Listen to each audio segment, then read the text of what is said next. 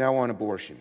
Shortly, I will join Senators Murray, Baldwin, Kelly, and some of the nation's leading repro reproductive rights advocates to highlight the terrible consequences of repealing the pro protections of Roe v. Wade.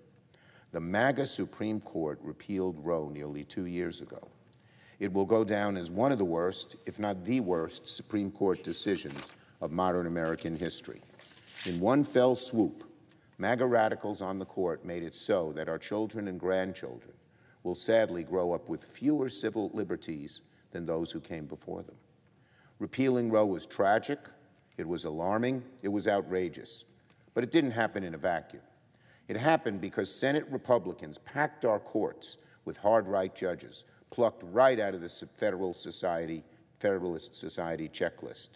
It happened because Donald Trump appointed not one, not two, but three MAGA justices, all who voted to overturn Roe. Remember what Donald Trump said a few weeks ago? He was, quote, proud, unquote, to be the person who paved the way to overturn Roe. And after Roe was eradicated, MAGA radicals opened the floodgates for draconian and cruel bans on women's choice across America. And we know this is just the beginning. Does anyone seriously doubt that should Trump become president again, he won't try to add even more extreme jurists to the bench so he can continue his assault on women's reproductive freedoms?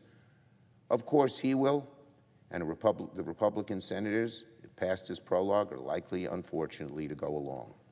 If Donald Trump and MAGA Republicans get into power, the hard right would not rest until a national abortion ban becomes the law of the land. Mark my words, that is the direction that they will take America in. House Republicans already included a national abortion ban in their recent Republican Study Committee budget.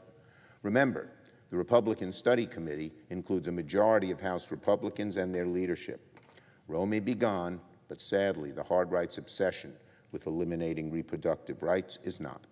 Make no mistake, Republicans will have to answer for their anti-abortion records today, tomorrow, and at the ballot box in November.